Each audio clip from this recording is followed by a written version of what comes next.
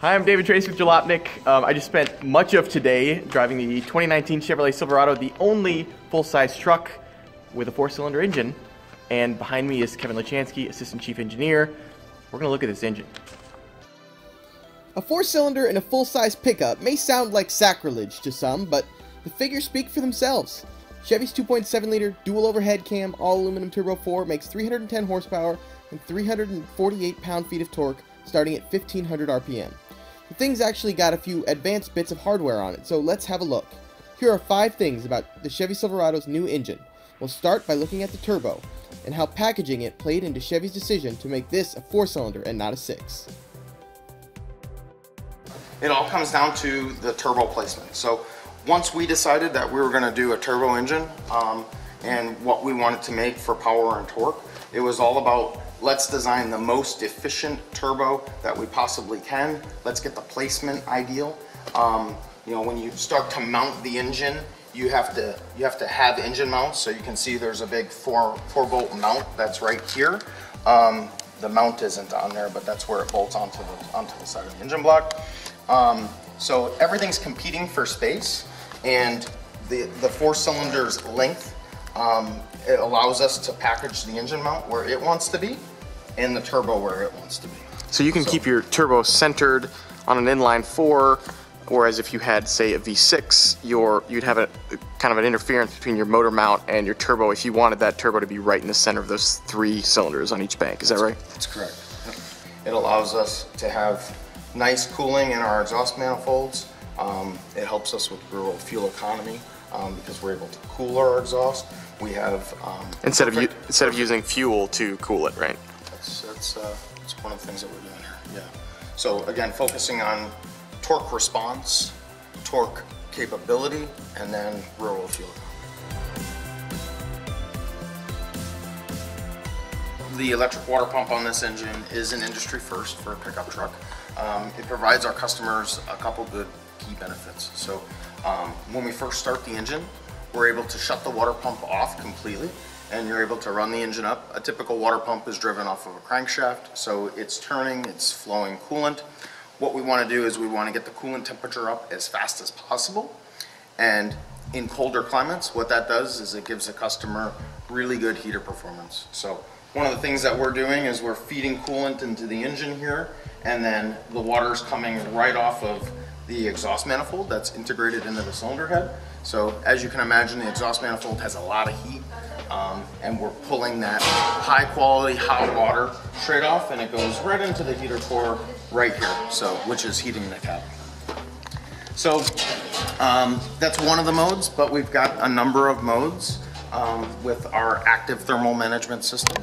So it's all about trying to get the engine to cool and put heat where we want it. So one of the other things that we want to do from an efficiency perspective is heat the engine oil. So you can see here, here's a cutaway of the engine oil cooler. This is the engine one, and then right behind it would be the transmission. There's a similar cooler on the transmission that we're able to actively take the, if we're not heating the cabin, we take that same hot water, we run through a coolant control valve here, and we're able to pipe that water. All the hoses are missing on this particular model, but we're able to pipe the water straight into the oil cooler, both oil coolers, and heat the engine up. So what's that do? It reduces friction. It gets the oil good and warm to where it really wants to run for ideal temperatures. Now, that's an electric uh, control valve, right? Normally, you've got a wax thermostat, but this here is driven by some sort of computer. Yeah, that's a good question. Um, if you were to zoom in here, um, it's a tiny bit dark, but you can see there, these are fairly simple valves that are, they're just rotary valves with seals. Um, and there's an electric actuator here, so you can see this is an electric motor. There's a gear set on here, and it just turns. So if you think of um, a plastic valve that you can buy at like a hardware store, um, maybe for turning on and off water, um, effectively the same concept where we're just turning the valve open or closed. Um, the computer knows what the temperatures need to be, and it opens it and closes it accordingly to get ideal flow and temperatures. So again, efficiency here or heating the cabin. Okay.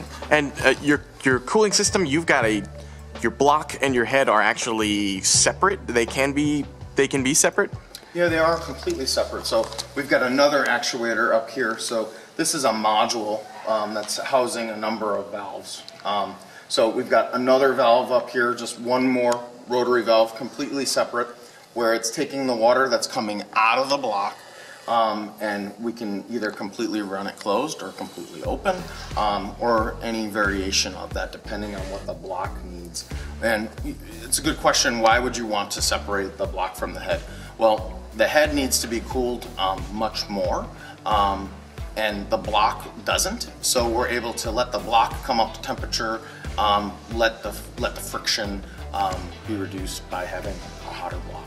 So you'll you'll cool your head um, for cabin performance, uh, for to keep your integrated exhaust manifold, which we'll look at in a second, to make sure that's keeps your turbo cool, and also for your valve seats. Those are the main reasons why you want your head to be cool all the time. And then, um, you know, once your cabin warm up is in good shape, that's when you start to flow through the block. Is that right?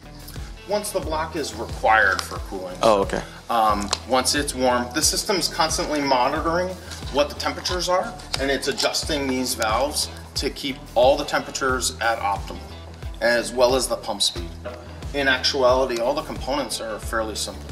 So, just a number of simple single stage valves um, that as they rotate, we open up one or close one, and we're able to do a series of uh, of different modes on the thermal management. So again, um, for friction reduction and for uh, proper, proper cooling. From a camshaft perspective, it's always a balance. You can either have a fuel economy cam or a power cam. Um, so typically what you end up doing is a balance between both of those on a fixed cam engine. Um, we've got multiple steps of, um, of options here and we were able to, to do both. So um, both the fuel economy cam and the, and the high lift performance cam are on this. So if you zoom in here, you can clearly see them. So we've got a, a low lift lobe and then a high lift lobe. Um, they're actually on different timings as you can see here.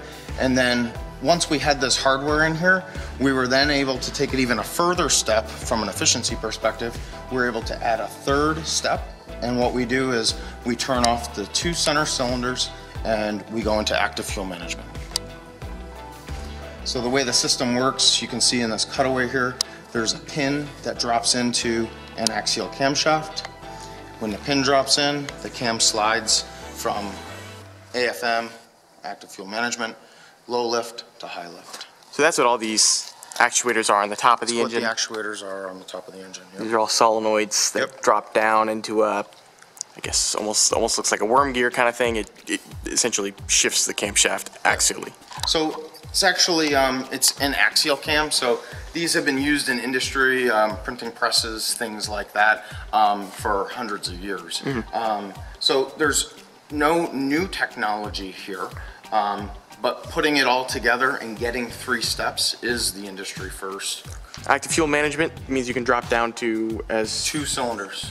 Yeah, so um, it's kind of neat with a turbo engine. You take the displacement, uh, the turbo is effectively um, almost doubling the performance of the engine. Um, and then active fuel management in this case is taking the, the base engine and, and dropping it down by 50%. oh okay. So we're able to make this engine bigger and smaller with the technology that we have here. And what does that mean? That means um, really efficient performance and, and from making it bigger, fun to drive, uh, great gradability, um, great payload, great towing, all of uh, all the things that we need for a truck. Um, that sort of brings me to how did you design this um, from a durability standpoint uh, for a pickup truck application? Um, so this, as I understand, this engine is not used in your cars. It, it is similar to an XT4 engine. Some of the components are, but this engine itself. From an architecture perspective, it is. Um, however, this engine was purpose designed for the pickup truck. The top of the piston is 100% machined. Um, that's done for fatigue resistance. Um, so it makes the piston very strong for high cylinder pressures, something we would do on a diesel type piston. Um, also, The top ring has a ring carrier. It's a cast-in-place cast iron ring carrier. So a traditional naturally aspirated engine, um, the ring would be housed in just aluminum. Um, because of the loading on this engine, again being very similar to a diesel, we were able to add in the cast iron ring carrier. This is one of the strongest connecting rods that we've done for a gasoline engine. Then it goes into the rod bearing.